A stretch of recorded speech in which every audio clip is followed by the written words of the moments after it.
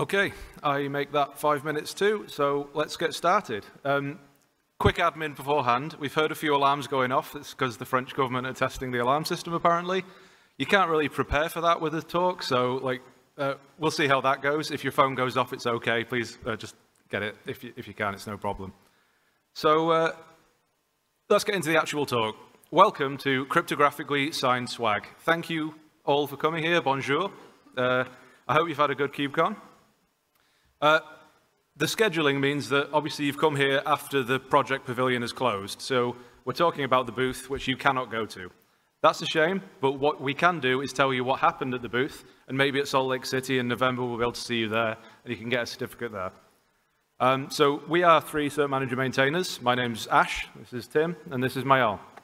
Uh, we all happen to work at Venafi, and uh, we spend at least part of our time maintaining cert manager, uh, quick show of hands, who has heard of Cert Manager? Yeah, that's what we like to see. Uh, who runs Cert Manager?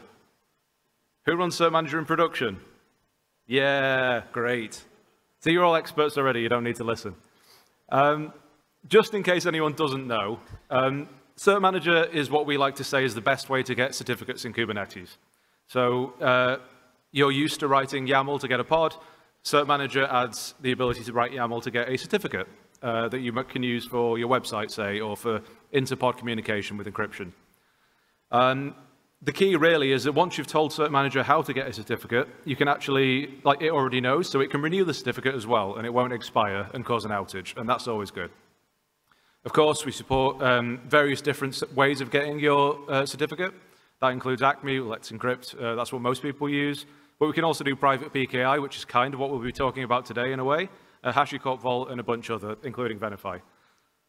Um, there's a picture here, and you might recognize uh, some of the faces on it, uh, certainly my shiny head.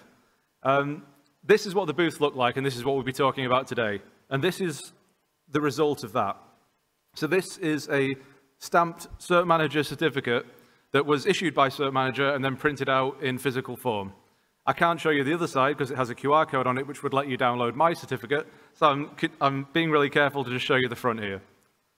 Um, we're going to be talking about the journey that we went on here and uh, how this works behind the scenes and how we've improved it here for Paris. Uh, here's some big numbers. This is the standard slide. Uh, 20 million monthly chart downloads, we think. Uh, it's, it's all good stuff. A big milestone to point out there is that our graduation process has started now. We were hoping to get it done in time for Paris, but not quite there. We're still incubating. Hopefully by Salt Lake, we'll get there. Um, of course, there's other big numbers here if you enjoy big numbers. So there's a brief introduction. Uh, the best way to start now is to tell you a bit about the history of Cert Manager and how we got to here, where I'm holding a physical Cert Manager certificate in front of you all. So I'll pass over to Tim. Awesome. Thanks, Ash. All right. So how did we get to these impressive numbers, right? I'll try to kind of explain that to you by guiding you through the history of Cert Manager. So big disclaimer here, I wasn't there for all of it because I'm still pretty young. So to give you an idea, uh, in 2016 I was only 17 years old. So, but that's actually where the journey started. So Cert Manager actually comes from this project called Kube Lego, which is basically a controller that was created by this company called Jetstack. And basically what the controller did is it looked at ingress resources and at the annotations on those resources. And based on those annotations, um, it got, or it created certificates. And those certificates it got from uh, Let's Encrypt, which is still actually an exact use case that we still support with Cert Manager. And this was the predecessor of Cert Manager, so that's kind of where the idea was born. Then one year later, the actual term cert manager was coined and the project was created. Um, the first release was made and this release was already a bit more cloud native. So included here was, for example, the notion of like a certificate resource and some issuer resources. And so that was in 2017. And this API of these resources has been improving for the next couple of years. And then in 2020, the first stable release of Cert Manager was created, the V1 release, and we're actually still supporting that V1 release. So that's like still the version that we are building on. So if you have a version, or if you have like resources from then, they will still work with the Cert Manager from today. In the same year, we also started our CNCF journey, and that basically meant that we became a CNCF sandbox project. Then two years later, we actually got to the incubating state, which is already a great achievement. And since then, we have been working hard on getting to the next stage, which is basically to become a CNCF graduated project, right? And one major milestone towards that goal is to complete a security audit, a CNCF-sponsored security audit. And I'm very happy to announce here at KubeCon that we actually completed that. So we have passed the security audit, and Monday we, on Monday we actually published a post where you can find out more information about the security audit.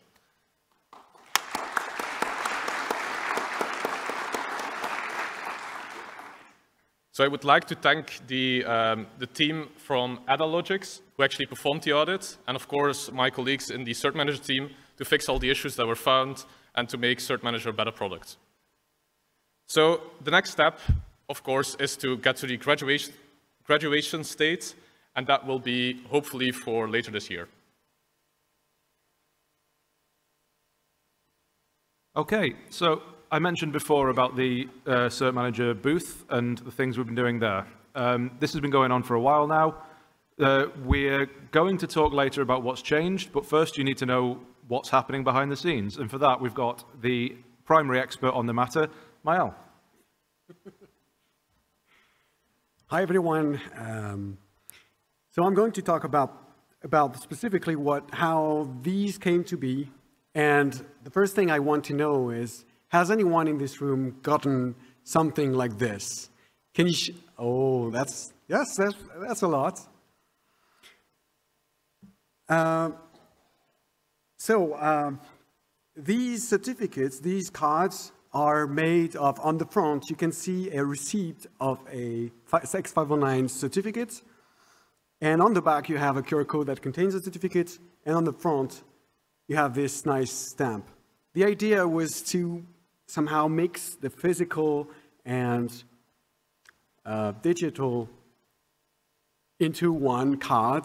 So digital, obviously, the X509 certificate, and the uh, physical is the seal that you usually see, uh, you would see 200 years ago or more. Uh, I'll be honest, when I created this demo in Valencia 2022, uh, it was this stamping idea, which frankly, let's say it, that's the most fun of this uh, demo. It came from a person called Maartje. Maartje was a maintainer of the Cert Manager project, and she had this great idea for the V1 of Cert Manager to do thank you cards with actual uh, wax and the, with this melting pot and candle, and the, she, she, would pour it on the, the card and uh, there, send it to all the contributors. I'll be, I'll be, I'll be honest, uh, I, I, tr I, tried at home, I bought everything, and then I contacted the CNCF event team uh, who told me that uh, candles aren't allowed at KubeCon. So we took, uh, I, I bought this glue gun instead, which isn't ideal either because it stinks like the, the plastic when you keep the glue gun turned on all the time, it, it really like does this weird uh, smell. Now, we have done this demo over four different KubeCons. That was Valencia, the first one. We made over 225 printed certificates that was awesome because everybody was talking about it in tweet, on Twitter when it still existed. And then we continued in Detroit, Amsterdam, and uh, Chicago with over 800 certificate printed. The moment I remember the most in these, uh, during, uh, while staffing the booth was this time in Chicago where over 20 people were in line waiting to get a printed certificate, and we were like rushing, printing, stamping, and I was crazy, and I, that was, yeah, that's super nice to see, especially for a project uh, pavilion booth. Now to the specific of, specifics of what you would see on the booth. If you came to the booth, I'll tell you exactly what was on the table. Uh, there was this printer uh, and a Raspberry Pi. That's essentially what is uh, the demo. On the Raspberry, we have Kubernetes running with K3S. With Cert Manager, obviously, we are using Cert Manager and a UI running also on the Pi, and a Kubernetes controller. You would fill in your email on the UI, then uh, it would create, the UI written in Go would uh, create a certificate resource in Kubernetes, which would then be issued by Cert Manager using a self-signed root CA uh, on the Pi, not really secure, but whatever. And the user would click print, and the controller would pick up the certificate and send it over USB to the printer. And obviously, we would stamp it. Uh, sometimes we would miss, and the stamp would be weird, but that's what we usually say is it's you get a unique certificate. That's every single time. And there is even one person, for some reason, I stamped on the back also, so on the front and on the back. Uh, one weird or crazy or whatever choice I made in Valencia, because I could, was to write the Kubernetes controller in bash using kubectl and, and that's it, kubectl and, and JQ. Um, it's not ideal because editing this file as any bash script is terrible. Uh, error handling is really hard. You have or error handling and printing the errors is just weird. But I think it's a great way of getting started. If you don't know Go, you definitely go. You definitely know kubectl, and kubectl, kubectl get watch the flag watch can get you started with reconciling objects, objects in Kubernetes. And you can do it right from your terminal. You can see an example on the printer cert GitHub repository uh, if you want to see more. Finally, finally about these uh, QR codes on the back. Uh, in Valencia and all the others, other KubeCons except this one, I chose to have the QR code contain the certificate, but not the private key. Uh, the, the whole certificate was printed on the QR code. That was great because we didn't need to store anything, but the only thing that you could do with this QR code was to show the certificate in the browser, and that was it. Uh, but Ashley had an idea to do something with the private key, and that's what he's going to present now. Thank you, Maël. So yeah, we noticed while we were doing this booth uh, before, a lot of people were saying, what can I actually do with this apart from take it home as a souvenir? And we wanted to do something about that and mean, uh, like add a way for people to actually use them. So we love the souvenirs, and there's nothing wrong with them, but we wanted to do a bit more. And we uh, wanted specifically to be able to use these certificates for TLS, because that's why everyone's using Cert Manager. That's why you use it in production um, with all those people that had their hands up. Um, we also just wanted to have a bit of fun with it, and it was great fun. Here is an example of one of the certs that we actually issue. This one's mine. This is the one that I held up here and didn't show you the QR code for. Um, so what's new with them? Well, the first thing is you can get the private key now, and with the private key, you can use the certificate. So um, the QR codes have been updated, and actually it links to a the same page that you would get if you were at the booth. Uh, that page allows you to download a tarball with all the certificate, with a certificate in it, with the private key in it, and with a little bonus script, which I'll talk about later. Um, th this completes the loop. It means that you can actually use the certificate that you get. Another little advantage is uh, ECDSA. If there are any other certificate nerds in the audience, uh, I'm, I'm, a big ECDSA fan. Um, the, our issuing chain always used ECDSA, so the signatures were always using elliptic curves, but the printed certificates actually had RSA public keys. Now we're using ECDSA everywhere, which has the advantage that the certs are smaller and faster. And I get to say elliptic curves, which is always cool. Um, as an example of that, like a visual illustration, this is the difference in size between an RSA key, which is on the left, and an ECDSA key, which is on the right. It's sort of a, you can actually see how much smaller they are, um, in a textual representation at least. Um, I've talked about the chain there. Another thing that we changed is actually the chain itself. So before, we used to set up the booth essentially from scratch for every KubeCon. Uh, we've now issued a stable root certificate. I've been telling people for the whole conference that it's 100 years long. Uh, it'll expire in 100 years' time. Uh, I didn't actually check that, but I'm pretty sure it's true. In any case, it expires in a, it's the next generation's problem. Um, what we're doing now is generating new intermediate certificates in each location. So we can use the same chain, and we can actually keep on expanding this demo to future KubeCons. So in Salt Lake City, we can do something else fun, and who knows what that will be. We're future ideas uh, always welcome in the Cert Manager community. Um, it gives us a lot of flexibility. Uh, but the real fun thing is that is there's not much point in just giving you access to the private key. You need to be able to use it. So what we did is created a guest book, and it's super simple. It's just a, a, a endpoint that you can post to, and you can only post if you have a certificate that we issued at the booth. So either you got a certificate from us, or you somehow stole our root certificate, and I hope you didn't do that. Um, so I mentioned a script earlier that comes in the tarball. That script is actually a quick way of being able to sign the guest book. You can customize the message if you like. I know there's some people here have done that. Uh, I got to be first because I wrote it. Um, and you see my message up at the top there. Obviously, we've obfuscated the email addresses um, for, for, obvious reasons, but like, it, it's a really cool way of completing the circle and going back and sort of taking what you got at the booth and actually interacting more, learning more, and seeing how this works. Um, if we can do this with uh, certificates in person, there's no reason you can't do this for machines in your production clusters and do mutual TLS everywhere.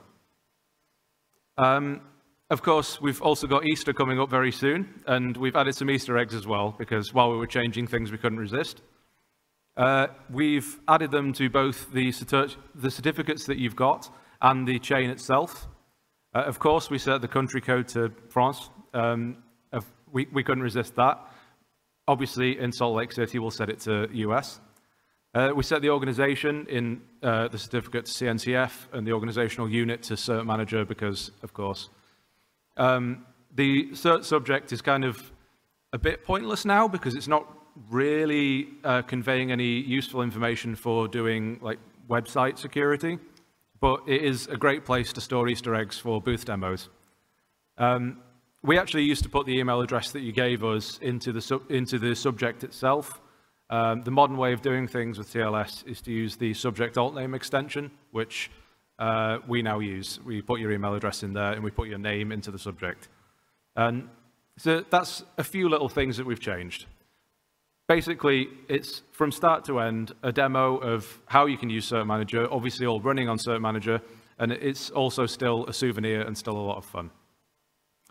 Um, the, the only shame really is that we didn't do this sooner because I know people have been to every KubeCon in the past and got a cert manager certificate and they're collecting them like infinity stones. So it would be nice if, uh, if they'd still be able to use those old ones, but that's in the past.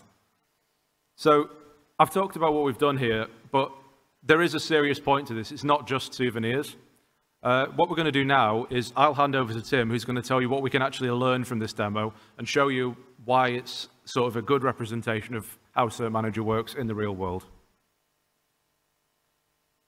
All right. Yes, indeed.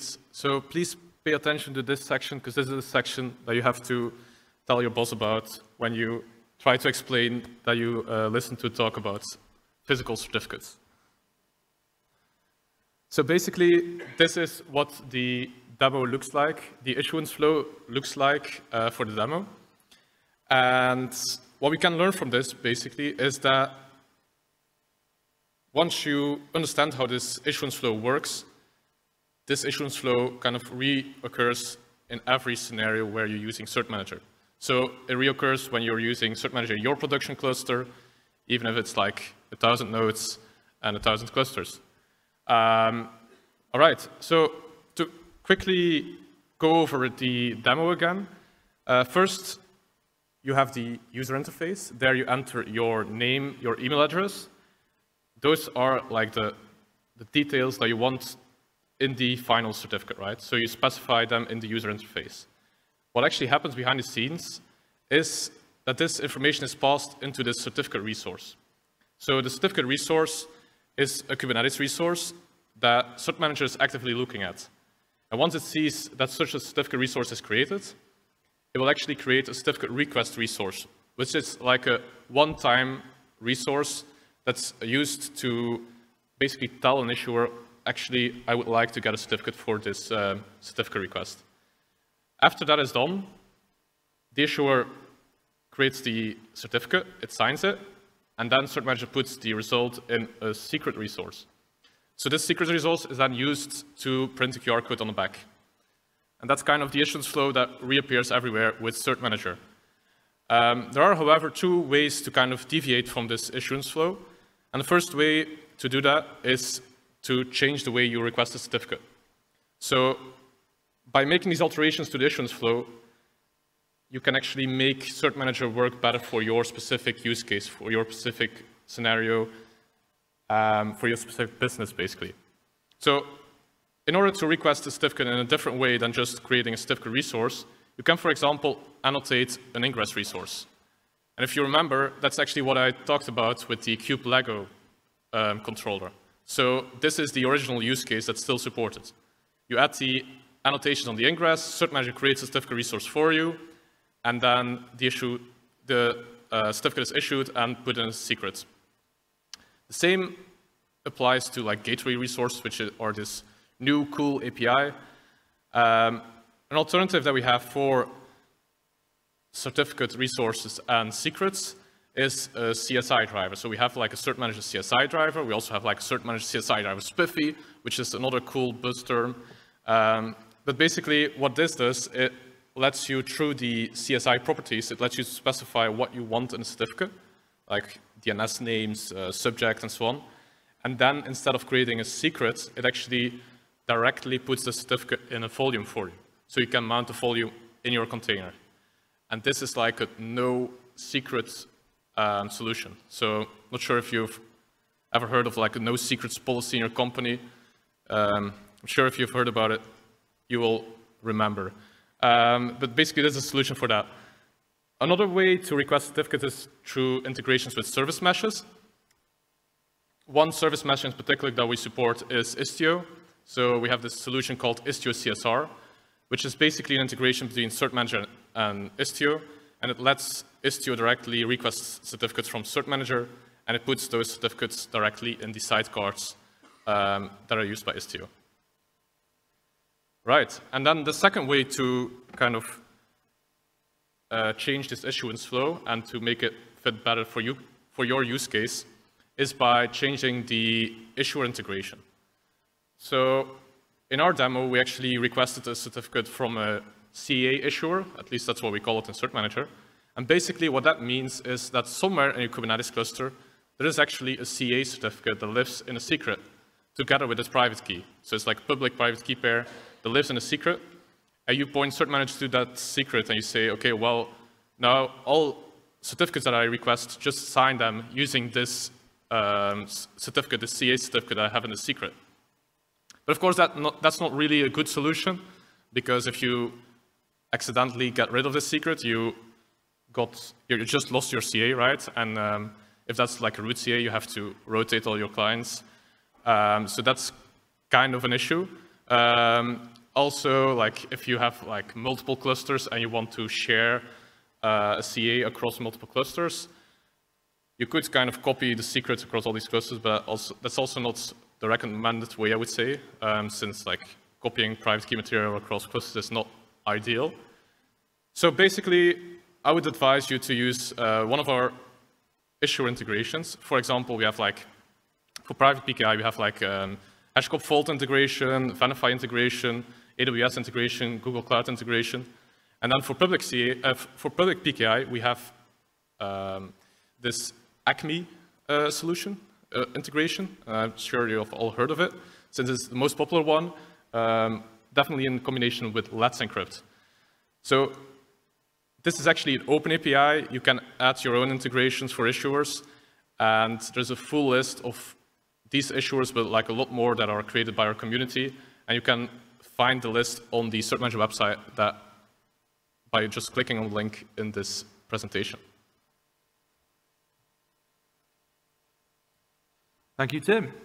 Uh, the slides are available for download as well if you didn't get that link. Um, so we've talked a bit about the booth here and we've uh, sort of gone over how actually this is a kind of a silly demo, but really it's how every production cluster running Cert Manager uh, works.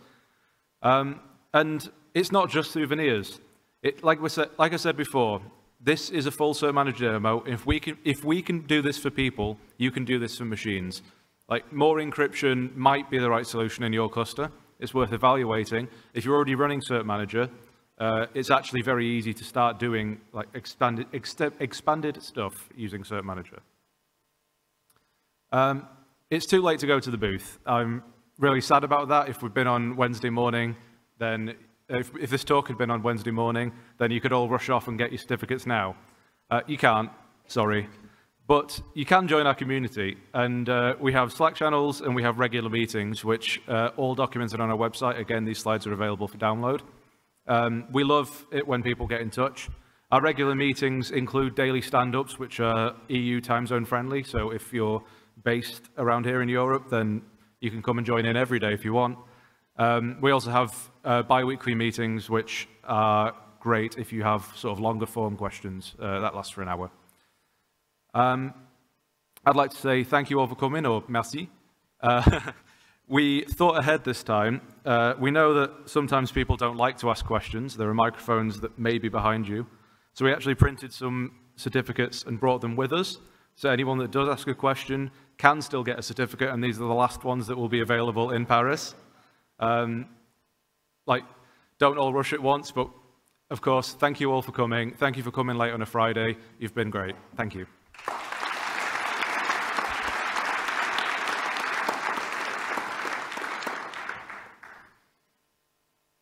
I really thought there'd be a rush for questions. This is good. That's the question, I suppose. Yeah. I Can I get a certificate? He says. There are microphones back there if you do have any questions. Um, I feel like a air hostess. Your nearest microphone may be behind you. Is is? Yeah, that's. Oh, we've got another one here. Yeah. Hi. Thank hi. you for the demo. Uh, I already have my cert, so uh, I have a question. Like uh, when generating the certificate, uh, if we like generate it with the same name and same email, uh, so would it be generated or is it like unique or how, how this, this work? So uh, you're asking about the booth specifically? Uh, or in general, like cert so, manager. So, manage, um, so the identity of a certificate is actually a surprisingly complicated topic. Um, I mentioned about the subject alt names extension in certificates. That can hold many DNS names, email addresses, IP addresses. That all works.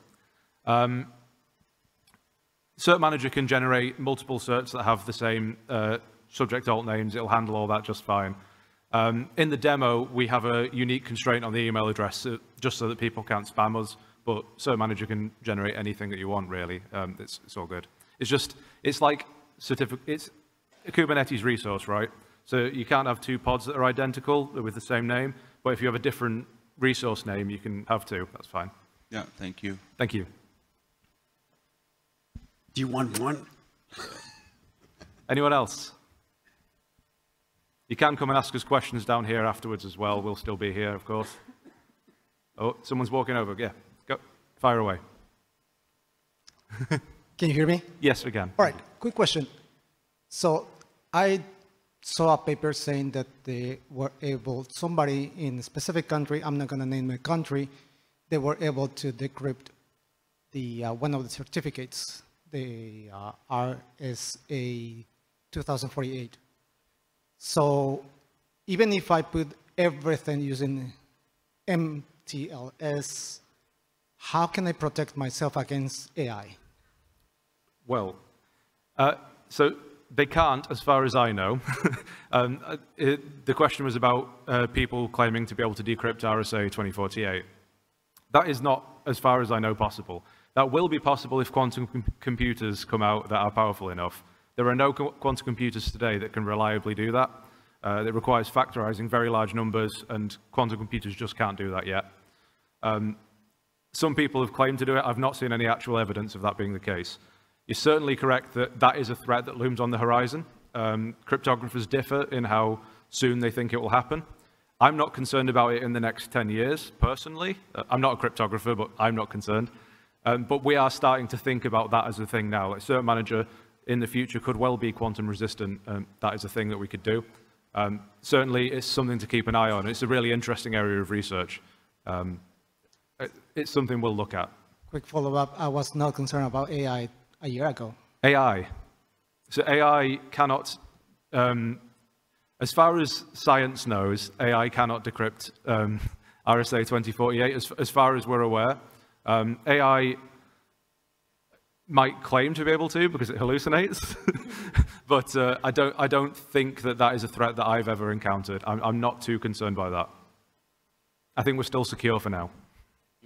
You might want to look at this series called um, Silicon Valley, where this actually is one of the, well, maybe I'm spoiling now, but this is one of the interesting parts of Silicon Valley. Yeah, maybe. Uh, we still have time, yep. Uh, see you at the mic there. Go, go ahead. Oh.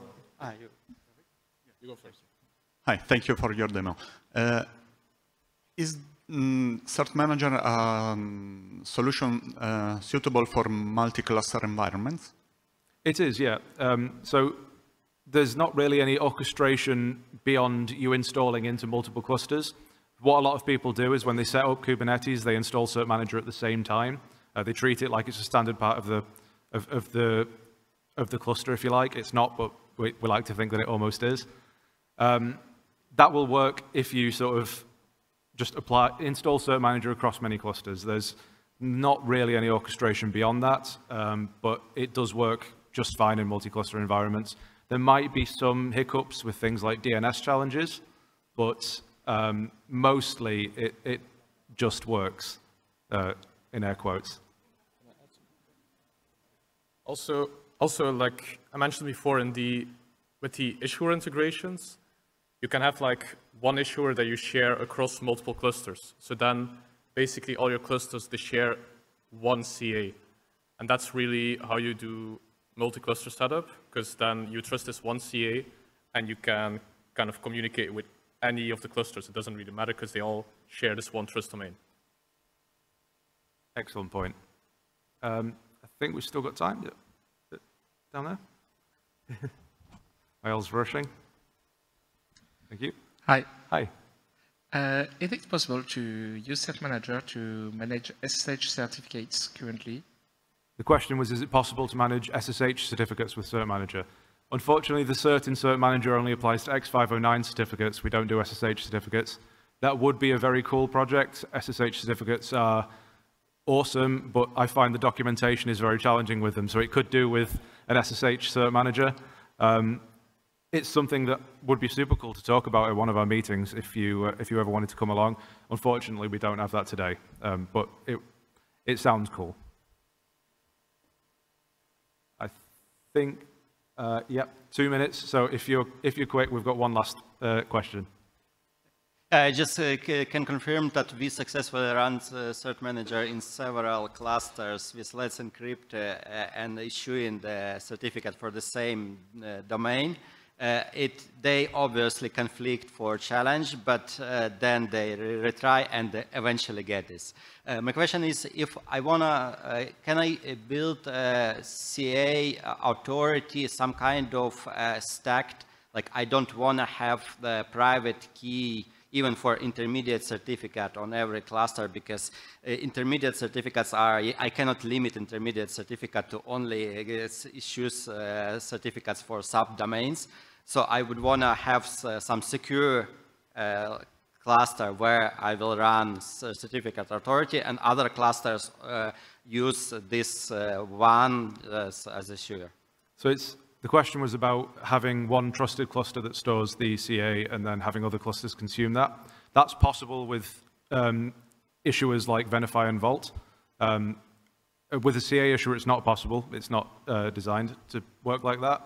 Um, I'll talk to you more about that after, after this because I think we're out of time. Uh, thank you again. Merci beaucoup.